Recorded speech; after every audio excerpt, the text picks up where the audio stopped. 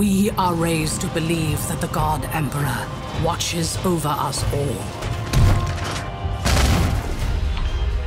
We are his sword.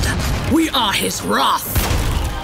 In battle, he offers us redemption. And for those who prove worthy, the Emperor sends forth his angels.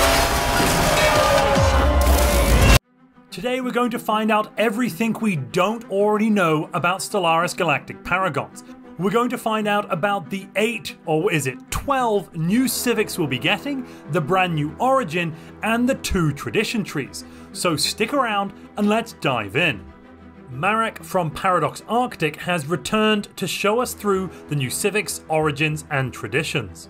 As you may have guessed from a lot of the other content we've seen so far, the civics are focused on leaders, but not always. During the developers' design run on the potential civics, they had to take into account a few different things. They should focus on civics, effects, and modifiers targeting leaders in some way. They also wanted to add new ways for players to play their empire, and they needed to remember to strengthen the fantasy for certain playstyles that are still not present within the game. And I've looked ahead, ladies and gentlemen, there are some very spicy civics that are amazing from a roleplay perspective that have deep impact on the game that we're going to look at in a moment. So, what did they decide to do from that list? Well, they decided to do everything. Instead of being content with just creating one or two civics per empire type, they ended up with eight unique civics if you count copies of civics which are just an adjusted version for different empire types that number rises to 12. So we are actually getting 12 new civics coming with Stellaris Galactic Paragons. That's a lot of civics. Sprinkled around standard empires, megacorps, hive minds, and machine intelligences. The first new civic we're going to look at is probably the most iconic new civic for Stellaris Galactic Paragons. It's called Vaults of Knowledge. This one allows you to store the knowledge of your leaders to enhance your future leaders. To sum it up a bit, every leader who manages to survive up to level 8 will give a bonus to the unique building provided by the Civic, where the story, experience, or knowledge of this leader will be stored for future generations. The flavor text reads The knowledge, principles, and experiences of exceptional people are digitized and accumulated in the vaults of knowledge citizens can access this source of wisdom and experience to learn from the ghosts of the past. Leaders will start with plus one level, which is good, and you get to build the unique Vaults of Knowledge building. Vaults of Knowledge produce unity and increase leader experience gain based on destiny traits acquired, meaning that your leaders will level up faster, giving you more bonuses across the Empire. We don't yet know how impactful leaders will be in the game after this rework, but given it's the focus of this DLC, it's probably a safe bet to assume this might be quite powerful if you take it in the mid game. In this next Civic, the developers decided to make something which would showcase some of the more fancy traits as soon as possible. But Marek also wanted to play an empire which embarks on a holy war to turn everyone into a proper clone of his ethics, this is a very roleplay friendly civic. This is a war civic which, unlike most war type civics we have, is not useful for expansionist, conquer everything empires. The entire idea around Crusader spirit is not being religious, hence, you don't need to be spiritualist in order to take it, but more a fanatic towards proselytizing your ethos to others. After all, they were converting people to their moral values on their planet. Why would they stop doing that when they got into space? The lack of guidance creates weak minds, which easily succumb to corruption and plunge into decadence. This society has assumed the self imposed mantle of bringing enlightenment to the masses through aggressive proselytizing. The effects Admirals start with the Zealot trait. I've got no idea what that does, but it sounds pretty good. Generals start with the Crusader trait. You are locked into only using the Liberation War policy, which is very interesting. Ship weapons damage gets plus 5%, and ship build cost gets a tasty minus 5%. Additionally, you get a special council position which is called Lord Commander. The Empire effects per skill level are plus 1 fire rate and plus 2% army damage. At level 10, that will scale up to plus 10 and plus 20% fire rate and army damage, respectively. The Zealot trait is one of Marek's favourite veteran traits, and it's the only reason he made this civic. So you will get it on every Admiral, the above is just an excuse. But what about the profits, I hear you ask? Well, let's not forget about those players who like to play Megacorp, as the developers also have something fancy for them. Megacorp themes are usually centered around dystopian corporations running the country, either at the forefront or from the shadows. Here, the developers wanted to add a new brick to this player fantasy, which they felt was lacking. And this is how Pharma State was made, giving a boost to medical workers and also unlocking a new corporate building for your fancy branch offices. Be it an illicit place making people go bankrupt by providing aesthetic surgeries for credit, or a company focused on making lives better, with a hefty profit margin, of course. The choice is yours to take. A strong nation is a healthy nation. This megacorporation maintains a robust economy through experimental drugs, highly privatized clinics, and aggressive marketing campaigns. Medical workers will produce an additional two amenities and four trade value. You can build the corporate clinic corporate building, and your leader lifespan goes up by 10 years.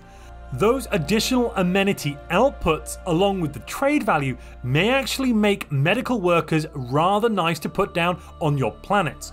Probably not your trading planets, as you don't really need to buff the habitability there, but on planets where you're wanting to build alloys or possibly some science or something like that as a trade based megacore. Additionally, you will unlock the Pharmaceutical Executive Council position, which grants plus 1 pop growth speed and plus 1 habitability empire wide per skill level of the Counselor. And there's a fun little bit of flavor text down here by Marek that says, We just invented new ways of preventing coughing. Instead of the standard 7 day treatment, it will take only one week to get rid of it. So definitely worth the 50% increase in price. Profits are, however, not everything, I'm being told. The efficiency of the processes is also critical for any megacorporation's success. Inefficient work can lead to serious mismanagement, loss of profit, well, so there is the profit part again, and a potential loss of Worker of the Month status. After all, you're not just a cog in the machine, you are a very precise cog which keeps the company afloat. Enter Precision Cogs. This megacorporation operates on a highly optimized and robust system of delegation. Such an approach means that a given task is always performed by the most qualified worker. Plus 1 leader capacity, minus 20% leader upkeep, which now that the Unity costs are much higher for our leaders, that's probably a lot better, and leader maximum negative traits minus 1. You'll also unlock the council position of Chief Posting Officer, granting an empire wide effect per skill level of plus 1 specialist happiness and a whopping plus 5% specialist political power. I'm not entirely sure, unless you're an authoritarian empire or something along those lines, why you'd really want to buff your specialists that much, but hey ho, maybe it's got some uses that I haven't quite thought of yet. In essence, the superb organization skills of this megacorp allow it to hire more cogs, I mean leaders. And if you're enjoying this video, please become a precision cog in the system and delegate that like button. But what about Gestalt empires? What about hive minds? And what about machines? So far, we've seen that they have been pretty much completely left out of the new Paragon feature. You cannot get any Paragons that are focused on machine empires or hive minds, which is a shame. And from the developers' own words here, they've said that in a way, Gestalts are the opposite of Galactic Paragon's DLC, which is centered around individuals, their growth, and path to glory, power, wealth, or just levels. If you are a Gestalt main, I can imagine you're feeling something like this at the moment. Let me in! Let me in! But don't worry, there are two new civics specifically tailored to Gestalt empires. These should apparently make your leaders feel a bit more individual compared to other Gestalts. Both hive minds and machine intelligences with these civics will give more freedom of thought to their leaders, allowing them to focus their consciousness on different matters, which should also help a bit with leader unity upkeep, For machine empires, that's something we've been flagging for a little while, going, ooh, this new high unity upkeep for machines may be a massive problem. But don't worry, as the base change will make you go from 2 unity per level down to just 1 unity per level of upkeep, which is effectively a 50% leader upkeep reduction. This should allow you to hire more leaders to get more resources, and basically you're delegating by consuming more nutrients. Autonomous Drones changes one base unity per leader upkeep into two minerals or two food, depending on whether or not you're a regular hive mind or a lithoid. That's quite a helpful unity reduction. The hypermetabolic drones evolved in this colony possessed increased autonomy. While decision making and situation assessment are enhanced, these drones require an increased intake of digestible materials. Machine Empires get Sovereign Circuits, which does basically the same thing, but instead of food, you're now going to be paying energy credits. Of course, a staple for machines. Units produced by this machine intelligence come equipped with autonomous decision making software, more efficient and effective than older models.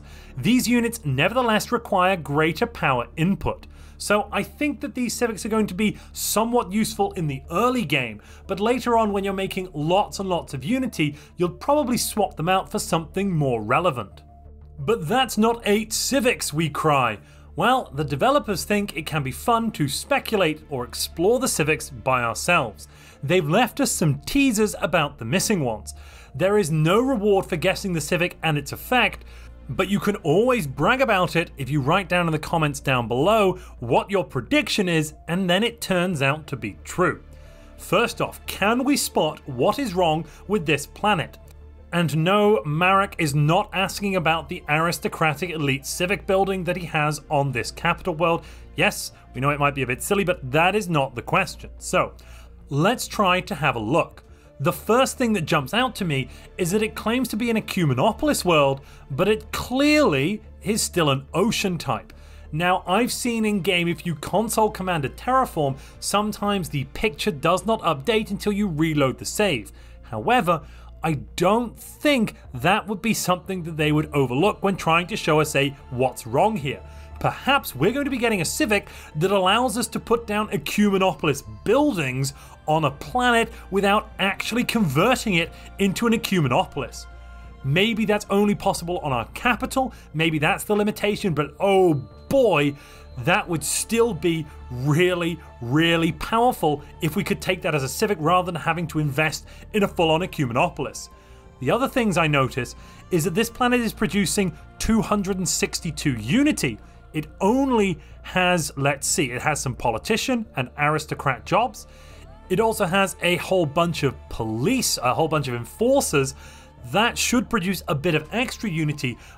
And there is also the comms relay building, so together that might equal 262, but I would think it would be a little bit lower given we've only got, what, five or six dedicated jobs to it, the politician jobs producing a little bit, and then of course the enforcers producing one unity apiece.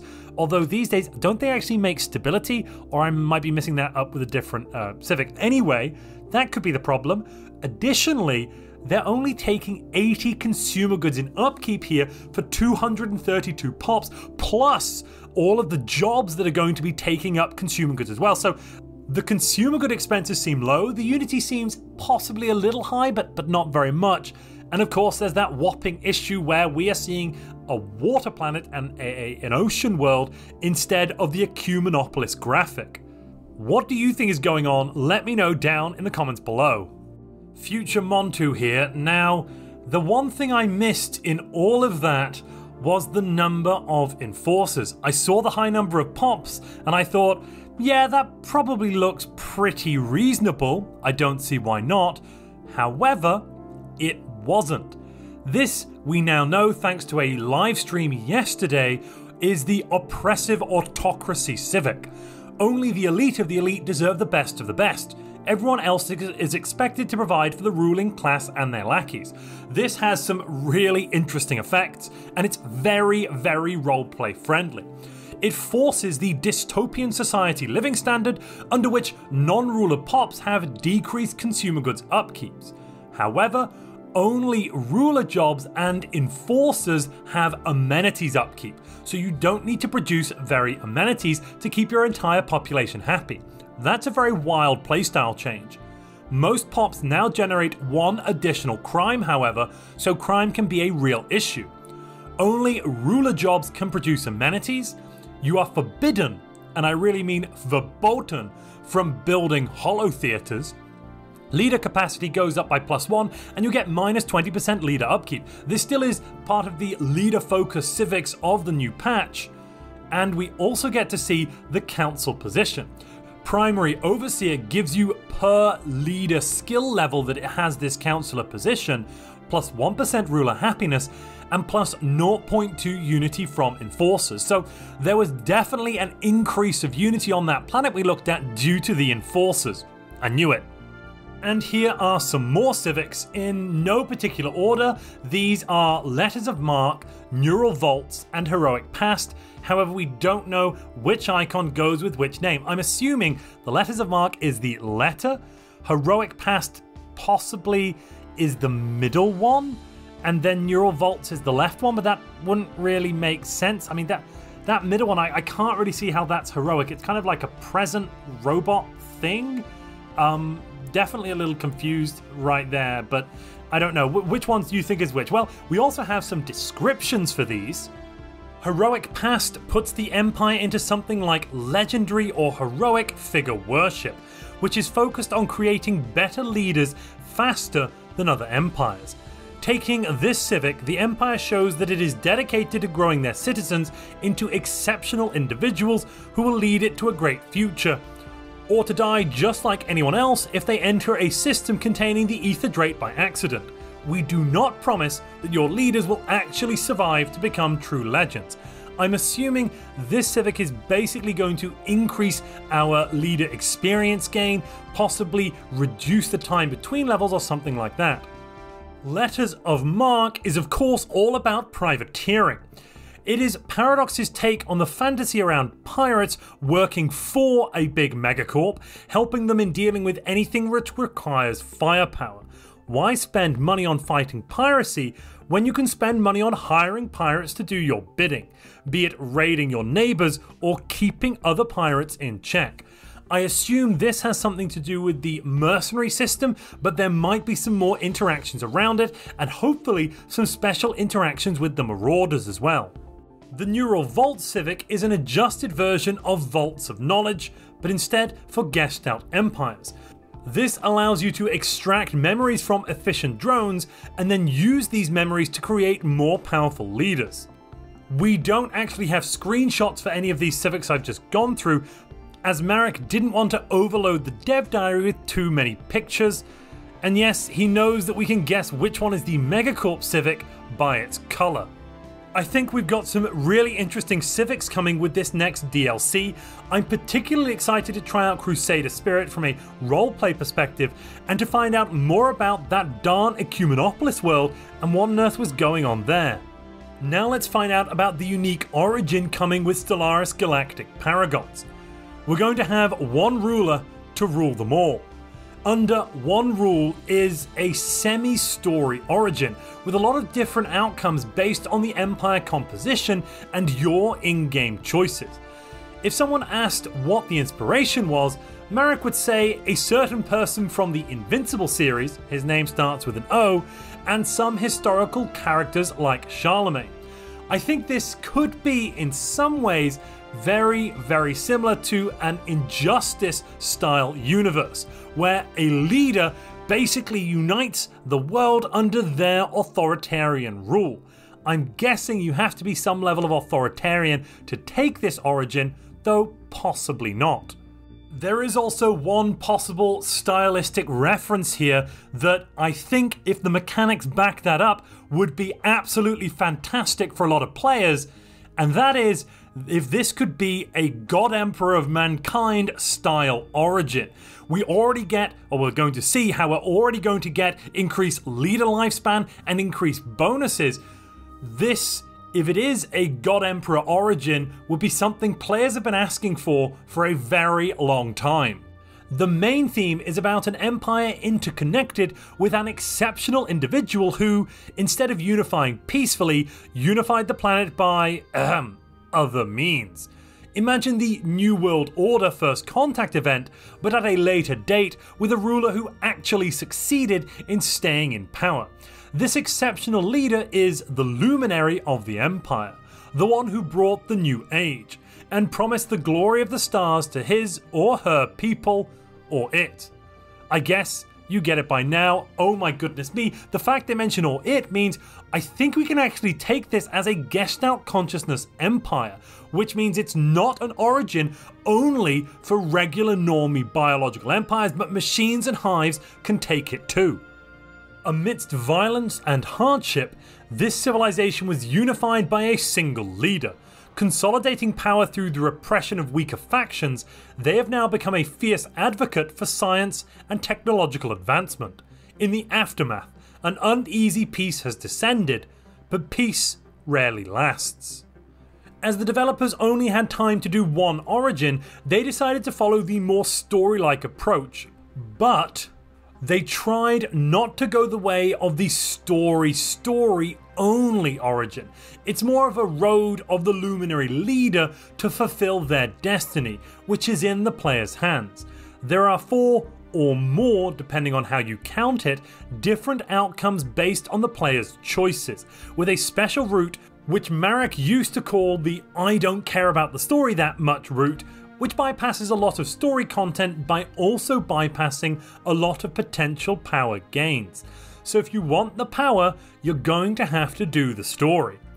Now, apparently, this origin requires that you have dictatorial. That would conflict with the earlier comment made about it, which would imply we could be Gestalt. So perhaps actually this origin is not something that Gestalt empires can take, unfortunately. But anyway, if you're baffled why you can't be Imperial with this origin, as every story goes down its own path, there are apparently possibilities in game to pursue different goals than staying true to the founding mythology. Yes, this does mean that there are events which allow you to change the authority type of your empire, and Marek is not afraid to spoil them as they happen fairly quickly. Basically, one of the big bonuses here is going to be that your leader gets the Luminary trait. This is a destiny trait that first off gives them plus 40 years of leader lifespan, so they hopefully won't die on you, and then also has a massive effect as a counselor. You will get plus 1.5 stability and plus 3% unity from jobs empire wide with this. So if your leader starts at level 1, you're getting only 1.5 stability, sure, but as you go up to level 10, that is 15 extra stability empire wide and a whopping 30% additional unity from jobs. And apparently, this isn't even his final form. To look at the more mechanical aspects, of course, this new origin is going to take use of the new ruler creator feature we're going to be getting in the Empire creation screen. The main feature of the Origin is to give the player a strong starting ruler with a unique set of powerful starting council traits. All can be tiered up to tier 3, so there is room for your leader to grow. These traits, in opposition to standard council traits, are not based on leader class, but instead on empire ethics. To keep it short, there are 14 traits you can choose from. We can see a few of them here. Gunboat Diplomat. This leader favors displays of power. A well placed threat is sometimes worth, I'm going to say, a thousand words. Brain Poacher. By offering the best, we can attract the brightest minds. This leader specializes in brain drain. Autarch. Oh, goodness me. This leader will strive to ensure the nation's self sufficiency. Thank goodness you can now have an autarky leader in Stellaris. Okay. Moving swiftly on, so Gunboat Diplomat this will, on top of the fact you'll have that luminary trait, don't forget, give you plus 10% diplomatic weight from fleet power as a counselor effect, and plus 0.25 max influence from power projection, along with a minus 5% to ship upkeep, which is mm, pretty nice. The dev diary also mentions that there are unique negative traits which might put some uh, bad mojo into your luminary, and they are tied to empire ethics as well. Remember not to be overly tyrannical to your people, or maybe there is a hidden power in being the evil ruler. Or maybe that's just a trick from Marek so that we will use a Colossus on our capital planet. But seriously, he implores us not to do that. I didn't know we could do that. I didn't think we could. If we can, that's definitely something I want to try doing if necessary. Last but by no means least, it's now time to take a look at the two new tradition trees we'll be getting with Stellaris Galactic Paragons. These are called Aptitude and Statecraft. The choice of the devs for themes of these tradition trees was apparently quite easy, they're going to be honest with us. They have a leader rework and new council features, and I bet you can already see where this is going. Let's start with the leader tradition tree, otherwise known as Aptitude. With the new Aptitude, your empires will focus themselves on leaders, giving them bigger and smaller buffs, with an increase in experience rate being the most obvious one. It's a solid tree if one wants to focus on leaders, but if it's not your thing, then the tree is possibly best to stay away from. We'll have to see how the balance shakes out. It might be that improvements to leader level speed are much more important now than they've ever been in the game. The opener unlocks leadership conditioning, a special agenda for our empires, and reduces leader upkeep by 25%, which is nice from a Unity perspective, though possibly not amazing. The finisher allows all of our leaders to get an extra starting trait, meaning all of our leaders have plus one traits, and that could be really, really powerful.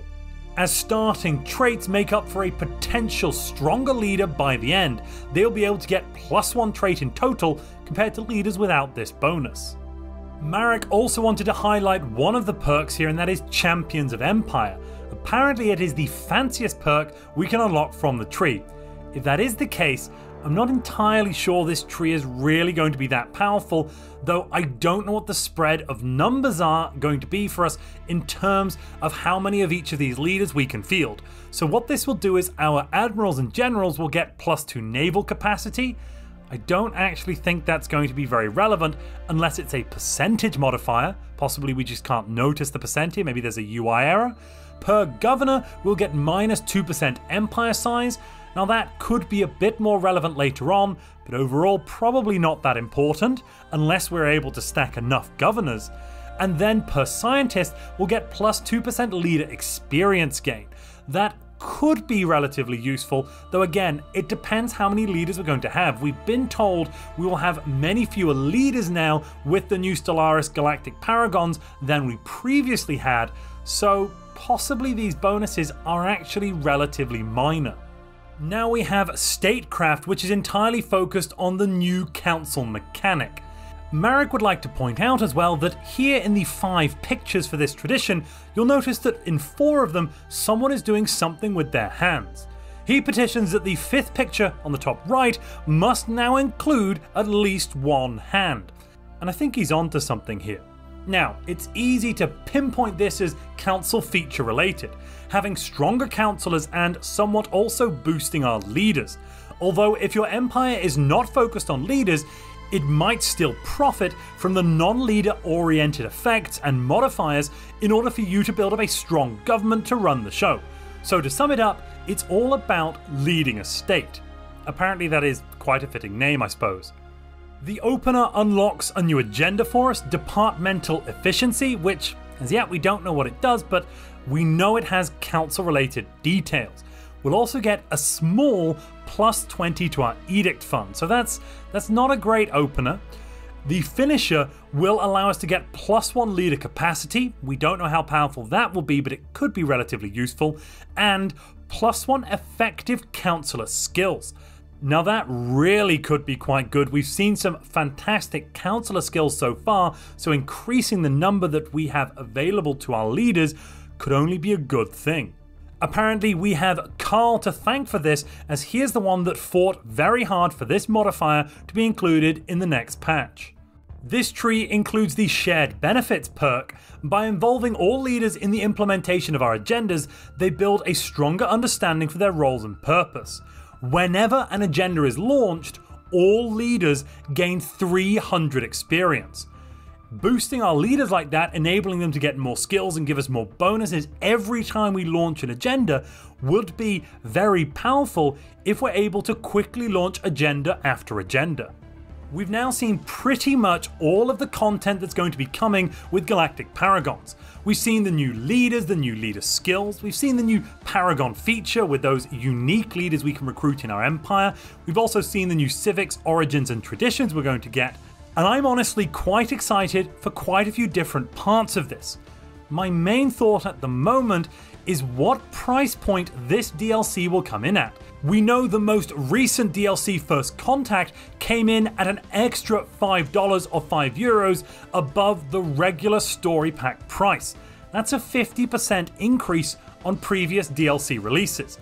I'll be interested to know whether or not Stellaris Galactic Paragons, which on the whole does seem somewhat smaller in size than Overlord or Nemesis, which we had in previous years, I'd be interested to know which price point they are putting this at. Now, there is, I think, something of a difference where even though this might be a smaller DLC, the impact of this expansion will affect all of our games at pretty much every level. We're getting a new mechanic that will be impacting everybody from day one of the game, whereas the features in Overlord or Nemesis, sometimes, especially with Nemesis and those Imperial mechanics, you might never get to in a playthrough. So even if the overall volume of content is smaller, Galactic Paragons may end up being a more essential DLC up there with something like Utopia or some of those must buy early DLC. I have not had any early access to this DLC yet. If I do before release, I'll make sure that I put together a review video so I can let you know my thoughts on this game. It will, as ever, be biased by the fact that I absolutely love Stellaris, but I will try to be as objective as I can be for you, because regardless of the price point, if you bought First Contact and you also buy this DLC, which is basically only two months apart, you'll be purchasing DLC that costs the equivalent of the entire base game in very little time at all. Nevertheless, I'm excited, I'm happy that Stellaris is getting love and attention it deserves, and it's a real shame that this will be the first and probably last DLC from Paradox Arctic and the team up there. So far, it looks like they're doing a fantastic job with Galactic Paragons. If you've enjoyed this video and you'd like to know more about the new Paragons feature we have coming soon, who they are and what you can do with them, click the video on screen now.